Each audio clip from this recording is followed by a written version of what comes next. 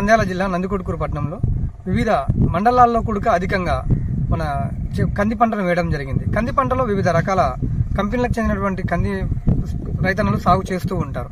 మనం చూసుకున్నట్టయితే ఇప్పుడు ఉన్నటువంటి ప్రస్తుతం మనం పొలంలో కంది పంటలో ఇది నీటి కందిగా చెప్పబడుతుంది. నీటి కందిగా చెప్పినటువంటి ఈ నీటి కంది పంట రైతన్నకు అధికంగా ఆదాయాలు తెచ్చే విధంగా ఈ పంటను సాగు చేస్తూ ఉంటారు. ఈ వివిధ ప్రాంతాల్లో అదేవిధంగా పగిడాల మిడ్తూరు జూపాడు బంగ్లా పాములపాడు ఇలాంటి వివిధ మండలాల్లో కూడా అధికంగా నీటి కందిని ఎక్కువ వేస్తుంటారు. కేసీ కెనాల్ ఆయకట్టుగా రైతన్నలకు ఆసరగా చేసుకుని ఈ నీటి శాతం ఏ ఎక్కడైతే ఏ ప్రాంతంలో అయితే ఎక్కువ నీరు ఉంటుందో ఆ ప్రాంతంలో అందరూ నీటి కందిని ఎక్కువగా వేస్తారు. ఈ నీటి కంది పంట దాదాపుగా మనకు మూడు నెలలుగా ఉంటుంది. ఈ మూడు నెలల పంటలో నీటి నీటి కంది ఎక్కువగా శాతం పెరగదు. పెరగకుండా ఒక నార్మల్గా స్టేజ్ మాదిరిగానే పెరిగి అక్కడి నుంచి పూత దశగా ఎక్కువగా వస్తుంది. మనం కంది చెట్టును మనం చూసుకున్నట్టయితే ఎక్కువగా పంట రావడానికి అవకాశం ఉంటుంది. ఈ పంటల్లో వివిధ రకాలుగా ఉంటాయి. కొన్ని ఈ ఏరియా ప్రాంతాల్లో ఎక్కువగా బరక అనగా ఎర్ర నేలలు ఎక్కువగా ఉంటాయి. ఈ ఎర్ర నేలలో కందులు ఎక్కువగా వేసినప్పటికీ వాటికి నీరు లేకుండానే ఆ కందులు పండుతూ ఉంటాయి. ఇప్పుడున్నటువంటి ప్రస్తుత పరిస్థితుల్లో రైతన్నలు ఎక్క- అధికంగా కూడా నీటి కందిని వేయడం ఆనవాయితీగా వస్తుంది.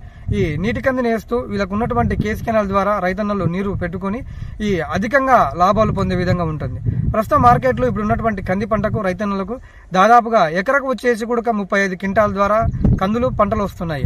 అప్పటికి ప్రభుత్వం కల్పించినటువంటి మద్దతు ధర తొమ్మిది వేల ఐదు వందల నుంచి పదివేల ఐదు వందల దాకా కంది రేటు పలుకుతుంది. ఇలాగే రేటు ఉన్నట్టయితే రైతన్నలు లాభదాయకంగా ఉంటారు. ఎన్నో దాదాపుగా రెండు సంవత్సరాల నుంచి అతివృష్టి అనావృష్టి వల్ల రైతన్నలు నష్టపోతూనే ఉన్నారు.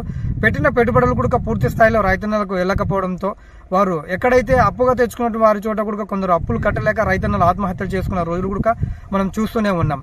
ప్రస్తుత కాలంలోని ఇప్పుడు అదే అలా కాకుండా నీరు కేసీ కెనాలకి నీరు పుష్కలంగా ఉండడంతో రైతన్నలు అధికంగా నీటి కందిని వేయడం జరిగింది. నీటి కంది వేయడంతో రైతన్నల మోకాల్లో ఆనందంగా ఉంది.